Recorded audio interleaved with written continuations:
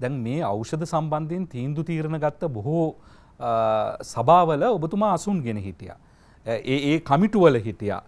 මොකක්ද මේ ප්‍රතිපත්තිවල තියෙන ප්‍රශ්නයක්ද මෙතන තියෙන්නේ. මම මේ විදිර එලබිමක් ගන්නවා මේ සංක මහිතන එක වැදගත්වෙනවා පසුමිම පොඩ්ඩක් කියලා. මෙතන මංහිතන මම ගන්න පසු බිම සහ එල්ලඹුම ටිකක් වෙනස් වෙයි මෙතන ඉන්න අනිත් හතර දෙනාට වැඩිය. මං මේක දිහා බලන්න අවුරුදු තිහක විතර කාලයේ ඖෂධ ප්‍රතිපත්ති සම්පාදනයට යම් දායකත්වයක් ලැබිච්ච ක්‍රියාකාරිකයක් විදිහට සහ පර්යේෂකයෙකු විදිහට ලංකාවේ ඖෂධ ශාස්ත්‍රය පිළිබඳ බලපු කෙනෙක් විදිහට. මම නම් දකින්නේ පළවෙනි කාරණය තවමත් ප්‍රශ්නය හරි හැටියෙන් තේරුම් අරගෙන නැහැ.